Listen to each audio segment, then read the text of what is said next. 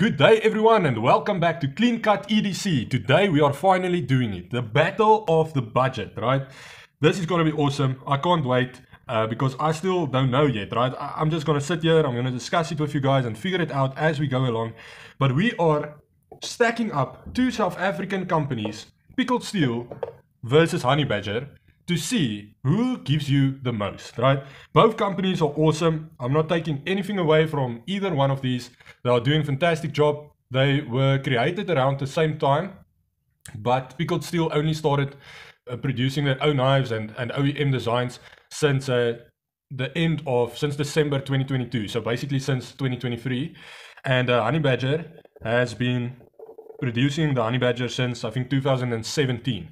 Right. So both South African companies, both of uh, these companies' knives are made in China.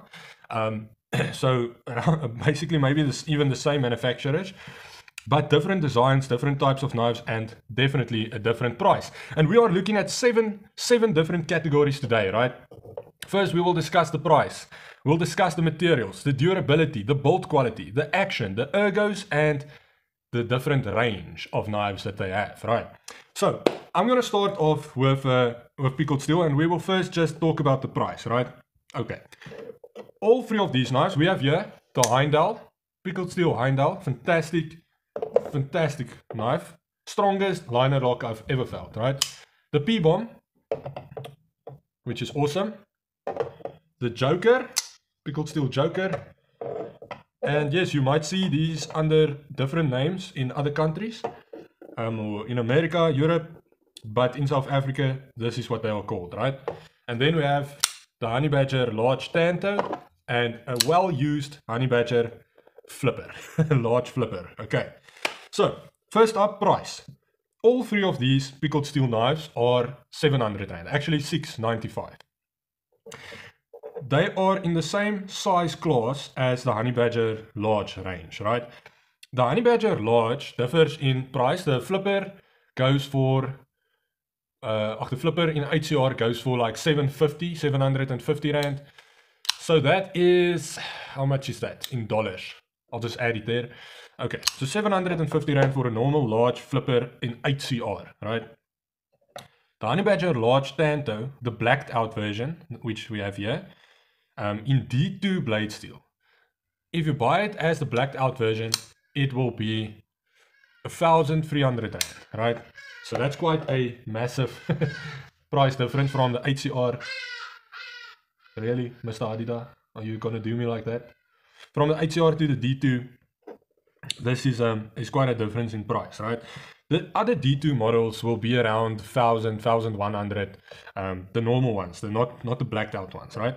Okay, so difference in price is 50 rand compared to um, the Honey Badger Flipper in 8CR is 50 rand more than these three knives. The Honey Badger in D2 blacked out will be 600 rand more, right? Than these two of these three pickled steel knives. So I'm gonna give it to um, just with regards to price. We'll uh, we'll check the materials now, but with regards to price, what you're getting, I think pickled steel is one point up, right? Woo! Okay. Material wise, let's take a look at the materials. Let me just get the little tanter as a a showing stick thing, right? A little pointer, right? Okay. The materials, these are all besides this one, this one is in 8CR. These ones are in D2, right? D2 uh, blade steel. So similar to the to the large Tanto. Same blade steel. These have a stonewash finish and a dual tone stonewash satin finish. This one has a DLC coated blade. These have these have a a G10 scales. This has FRN scales liners you guys can see the liners are quite a bit thicker on the pickled steel when compared to the, honey badger. Just a little bit thicker not that much uh, more on the between the Heimdall and the the um, large tanto than the P-bomb and the large tanto right? Okay.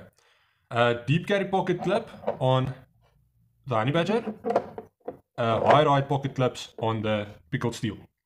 So the difference, main difference is basically the, the scales, right? FRN versus G10. But now, with that in mind, when talking about the materials, we now have to consider this is 600 Rand more than this, right? Basically, the only difference, real difference here in material is that this is FRN, which is technically a less durable material than G10, right? And less desirable material than G10. Okay, so um, you're paying more, but you're getting a little bit less with regards to materials from Honey Badger with regards to the D2. Now, the 8CR flipper versus the 8CR Joker, we have a satin finish versus a stonewash finish. We have FRN versus micarta. So that's quite a big difference. The FRN is done as well as you can possibly do FRN on a knife uh, with regards to the honey badger. Maybe the Freya's FRN from pickled steel is a little bit better, but this is about as good as you can get FRN on a knife, right? Um, the, this one has a deep carry pocket clip. This one has a deep carry pocket clip.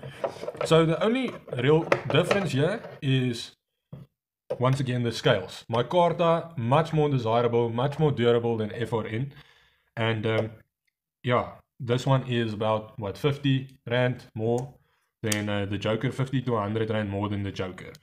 So as far as price is concerned, pickled steel is definitely up one. As far as materials is concerned, they are very, very similar with regards to the materials used, but the scales do differ. Now, you can upgrade these scales to G10, but for the large, on Honey Badger's site, right, you will pay, I think it's something like 300 Rand for G10 scales, which would then make this knife, for example, compared to these, 900 Rand more, right?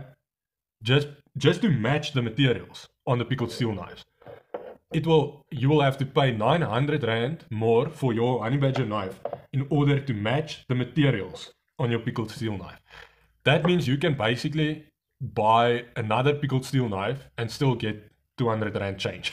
it's crazy, guys. I mean, that's just incredible. I, I mean, yeah. So, with regards to materials, uh, pickled steel is etching it out by a little bit, right? Just a slight bit over honey badger with regards to price, Pickled Steel is taking it by a landslide. So Pickled Steel is up 2-0. Durability. Now, the Honey Badger is branded as South Africa's toughest knife. I'm going to use these two just to create some space. The Honey Badger is branded as South Africa's toughest knife, right? Or Africa's toughest knife. And that is great for marketing and whatnot. But um, is it really that tough? Yes, this thing is tough as freaking hell. I've seen people chop with this. I've seen people, you know, put this through incredible tests. I will link that video actually where they did test a small D2 honey badger. Um, just excuse the language in the video, but I will link that video uh, in the description so you guys can go see the durability of the honey badger. It is fantastic, right? Now, considering that, and you take the Heimdall, G10 is more durable than FRN. It's thicker also than the FRN, so it has to be more durable. The liners on the Heimdall is far, far, far more uh, thicker than the liners on the Honey Badger. Far thicker by a landslide, right? Uh, the blade stock thickness is just about the same as the Honey Badger. Actually, I think it's exactly the same as the Honey Badger. So I have to say, okay, the stopping pin on the Honey Badger might be slightly, let's measure it up against one another, slightly, slightly bigger than the stopping pin on the Heimdall from Pickled Steel.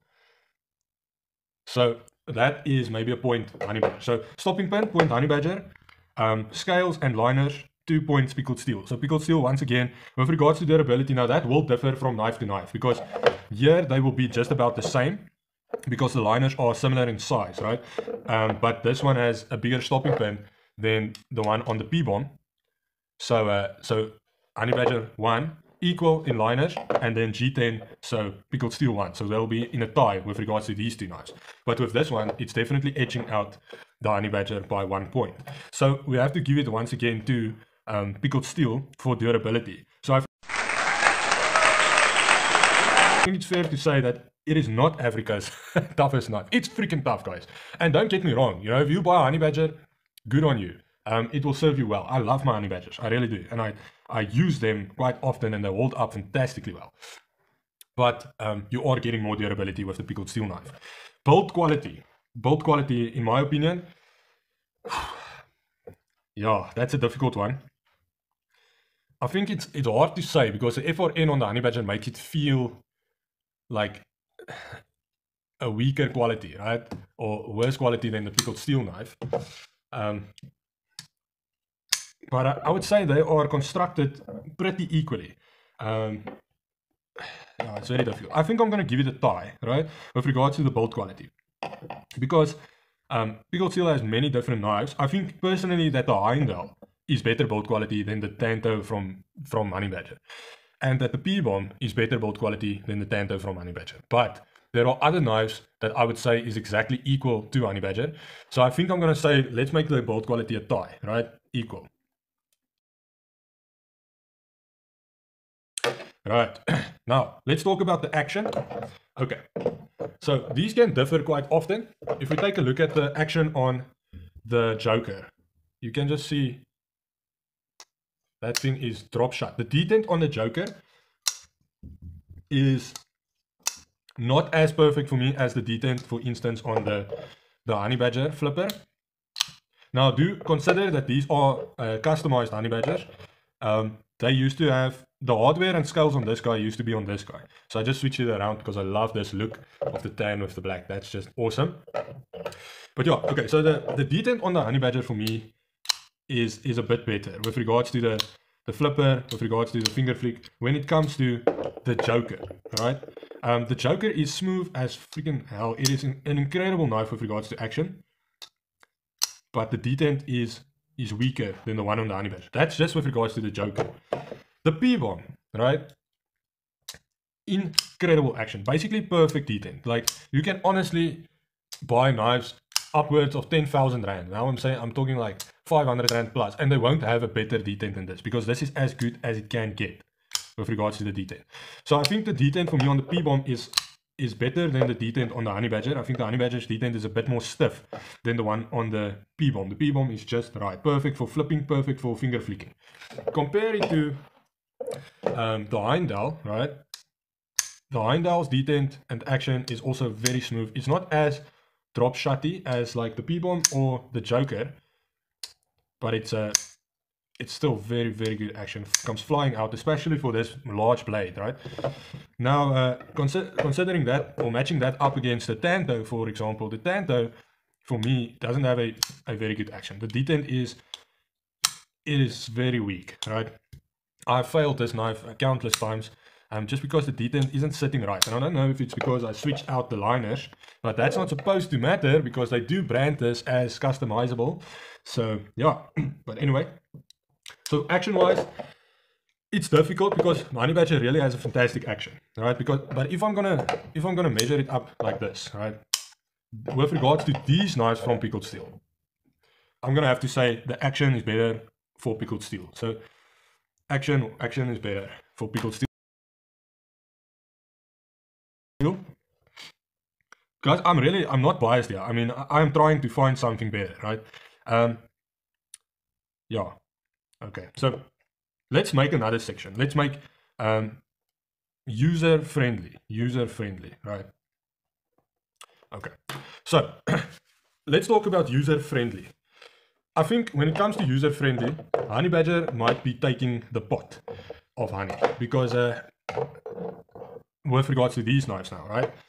With regards to these knives, Honey Badger has a deep carry pocket clip um, that can that is slotted in incredibly well, right? It runs into the scale, and I think all knife companies should start looking at doing their pocket clips like this. You can switch out the little plate, switch it around. The screws are sunken. It's a true deep carry experience with regards to to the honey badger, right? The pocket clip is very sturdy, very well done.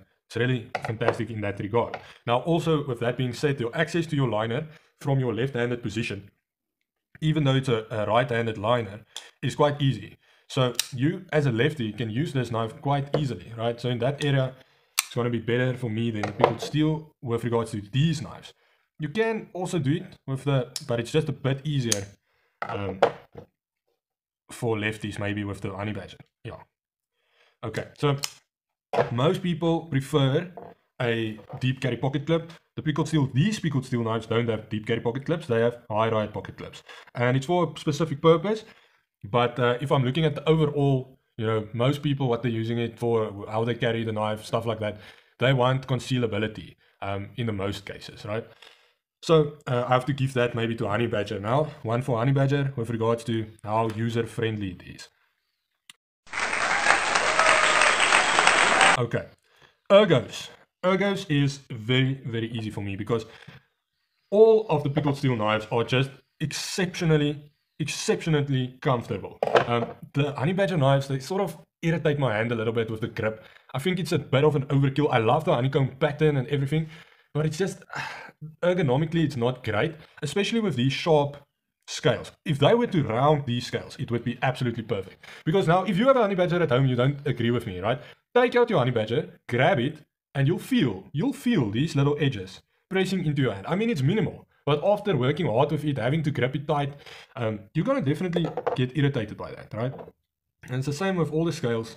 It's not just that one. Um, whereas these are well done, very, very smooth in hand, very comfortable, soft in hand almost. Feels like I can work with this thing for hours, it won't bother me. Even the Joker, in my opinion, is a better ergonomical knife, right? Also just um, how you can choke up on this guy.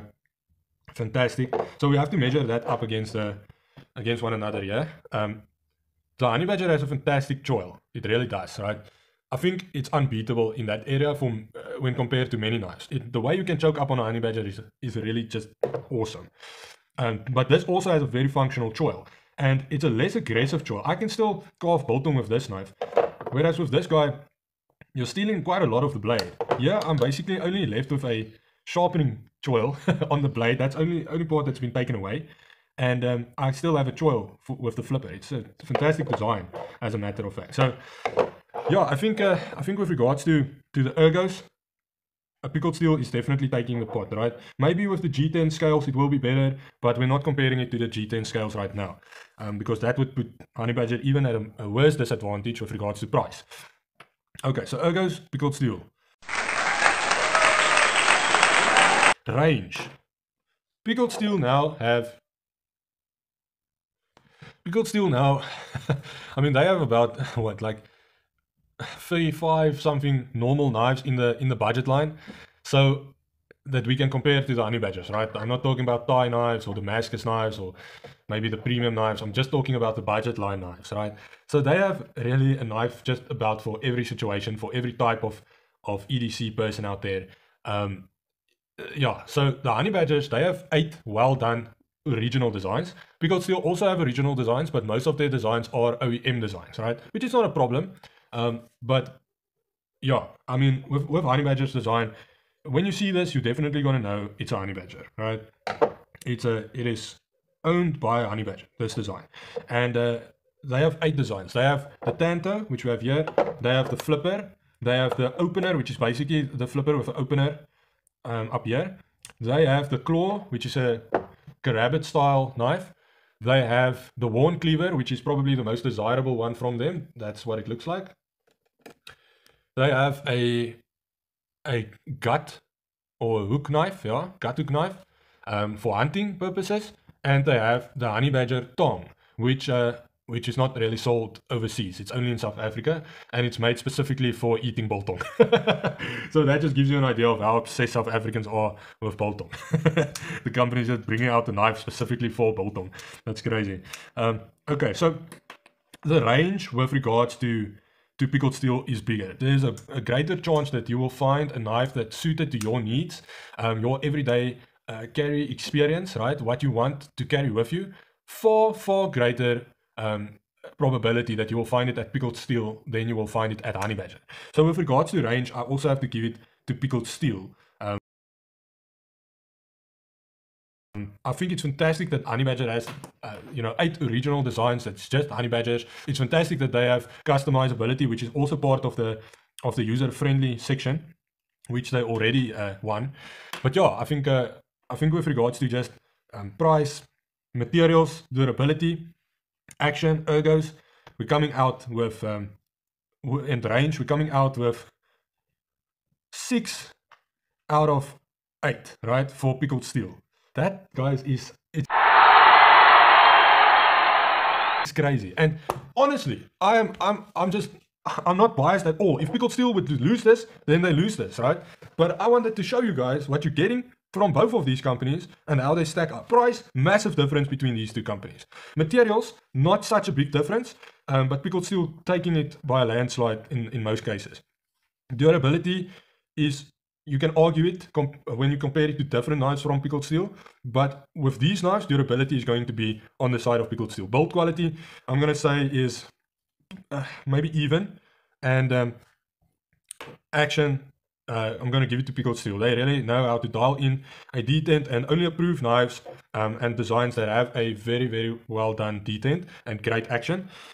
Ergos, definitely Pickled Steel. Um, range, definitely Pickled Steel. And uh, user friendly is going to be Honey Badger because it's easier for a left handed person to work with a Honey Badger knife. It's not that it's not easy with the Pickled Steel, it's just easier with the Honey Badger. You can switch out the, the pocket clip where you can also do that for um, Pickled Steel, but many knives are only right hand side tip up. Um, whereas Honey Badger, you can right or left hand side tip up or tip down. It is highly customizable. Um, I've seen some awesome designs that people are doing with the honey badgers, and we will definitely do a mod at some stage for honey badger. But until then, guys, Pickled Steel are reigning supreme with uh, six to uh, six, one tie and one loss, right? so it is really the best bang for the buck. You're getting the most out of it. Take it from someone who has loved honey badgers. Um, since the start, you know, I've been dreaming about honey badgers. I even asked my fiance to buy me an engraved honey badger for our wedding. And right now I'm like, yeah, I don't think I'm going that route anymore. You know, she should rather save her money and buy me another pickled steel knife. but yeah, anyway, guys, have a great day. Have a knife day. And I was happy to do this comparison, this battle. Both companies are fantastic. If you choose Honey Badger, that's great. You know, you're getting a fantastic knife. It's true. If you're choosing pickled steel, you're going to get a little bit more for your money. But whatever you want, whatever fits your needs, go for that option. Remember, no knife means no life. Awesome.